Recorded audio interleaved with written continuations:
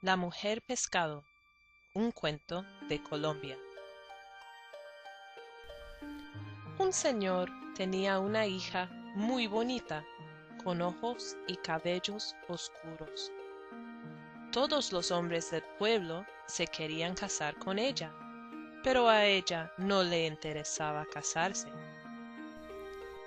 Solo le gustaba ir al río a cuidar los peces. Todos los días molía harina y les daba de comer.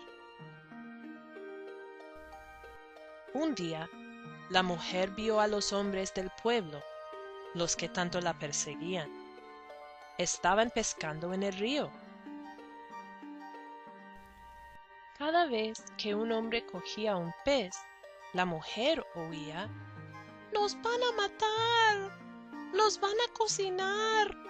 ¡Nos van a comer! ¡Ayúdanos! Después de coger algunos peces, los hombres hicieron un fogón grande y mataron, cocinaron y se comieron todos los pescados que tenían. La mujer no podía aguantar más. Se tiró al río y ahí se quedó.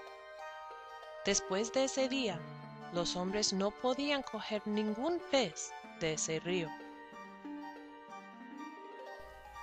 Algunos dicen que hay un pez grande con una cabeza y ojos oscuros que protege a los otros peces. Parece que la mujer que siempre cuidaba a los peces desde la tierra, ahora lo hace desde el agua.